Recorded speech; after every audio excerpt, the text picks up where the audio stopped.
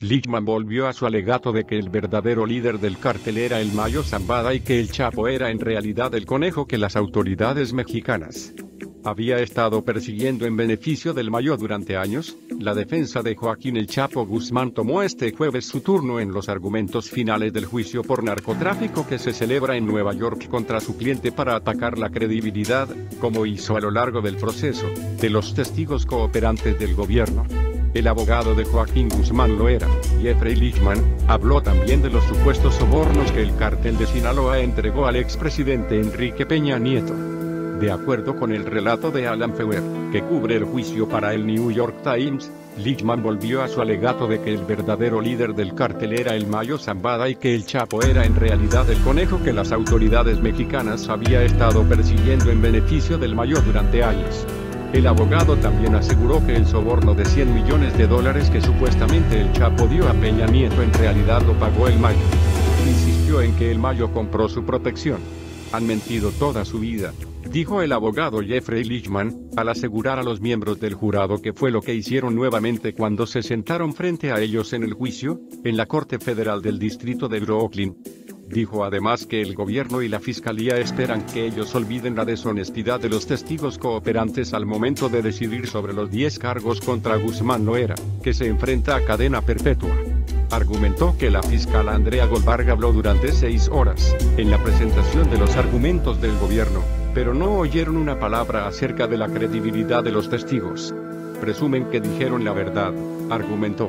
La fiscalía presentó 56 testigos de los cuales 14 eran cooperantes del gobierno y 12 tienen acuerdos con miras a una reducción de su sentencia por narcotráfico en EU, la que aguardan en prisiones de este país.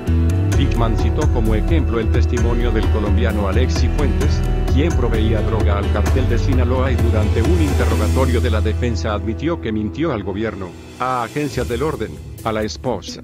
También que evidencia como el uso de armas por parte de su cliente fue puesta en las manos de Guzmán por los mismos testigos.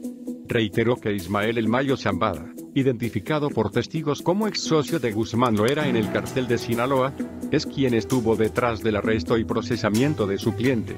Destacó que en cinco décadas de vida criminal, Zambada nunca ha sido arrestado y a ustedes les toca averiguar por qué, apuntó. Lickman también hizo la presentación inicial de argumentos del juicio en noviembre pasado y generó gran polémica cuando afirmó que el entonces presidente mexicano, Enrique Peña Nieto, y su antecesor, Felipe Calderón, habían sido sobornados por el cartel de Sinaloa, tema que le fue prohibido tocar en sus argumentos finales. El abogado comenzó hoy su presentación agradeciendo al jurado por su paciencia durante los tres meses del proceso y les indicó además que este juicio es la cosa más importante en la vida de mucha gente. Su decisión impactará a la vida de mucha gente, más allá de Estados Unidos, afirmó.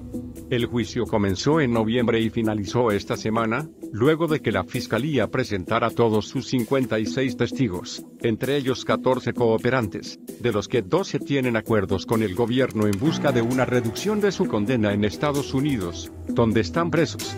La defensa presenta sus argumentos luego de que lo hiciera la fiscalía, que pidió al jurado que no dejen escapar a Guzmán Loera, que le declaren culpable. En su presentación la fiscal Goldberg detalló al jurado cada uno de los 10 cargos por los que el mexicano afronta cadena perpetua y aseguró que los testimonios y evidencias que presentaron dejó claro más allá de la duda razonable que es culpable. El juez Brian Cogan informó hoy previo al inicio de la presentación de la defensa que el jurado comenzará a deliberar el próximo lunes, tras escuchar las instrucciones del magistrado federal. Guzmán, que se ha escapado en dos ocasiones de cárceles de máxima seguridad en México, fue extraditado a EU en enero del 2017 para afrontar juicio en Nueva York, aunque es reclamado por varios estados. Más información en el blog del arco.com.